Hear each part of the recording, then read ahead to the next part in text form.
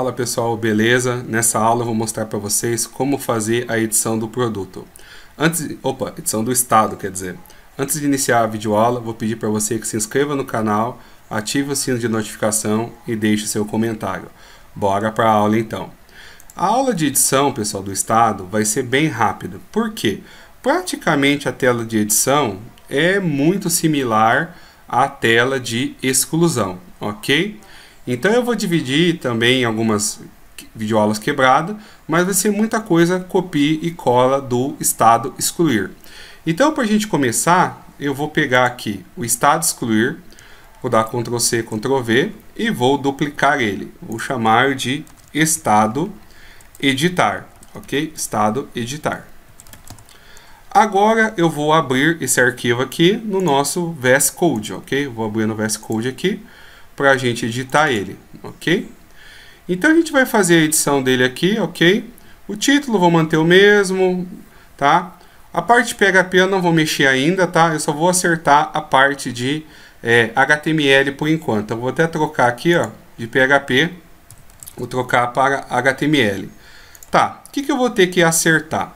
Então, aqui no Action, então, o editar, ele vai fazer um retorno também, né? Assim como excluir quando ele envia, ele volta para o próprio formulário. Então aqui eu vou colocar estado editar, ok? Ele volta para o próprio estado.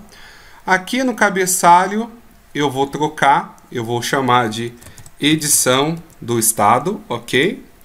Então o resto, pessoal, vai ser igual, tá? O campo código eu não vou, ele vai ser de leitura, então eu não preciso digitar ele. O campo nome, tá? Campo nome. Ah, uma coisa importante. Agora eu vou precisar do name. Na aula apagada a gente, na aula passada a gente apagou. Por quê? O name, lembrando, é o nome que o PHP usa para puxar o valor do campo, ok? Então o que, que a gente vai fazer? Eu vou pegar aqui, pode ser depois do ID ou em qualquer lugar, eu vou colocar o name para o campo nome. Vou chamar de nome mesmo, ok? Assim como a gente tem aqui no código, ó. No código eu tenho o name, que é o que o PHP usa, e o ID, que é usado pelos seletores do JavaScript, CSS, tá?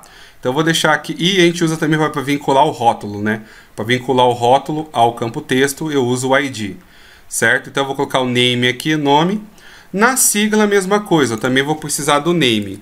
Tá, por que, que no excluir eu não precisei dos names? Porque no excluir eu só precisava do name do código, ok? Porque para excluir eu só precisava do código. Agora, para editar, eu preciso do código, preciso do nome e preciso da sigla, ok? Eu preciso de tudo isso daí. Então, eu preciso de, de, de todas essas informações. O resto, pessoal, é idêntico, ok? Tá? O resto é idêntico, eu não preciso modificar nada. Agora, o que eu vou precisar editar é a parte do PHP. Mas isso daí vou deixar como assunto para a próxima aula. Mas antes de finalizar, vamos testar a nossa tela. Eu vou rodar ela aqui então.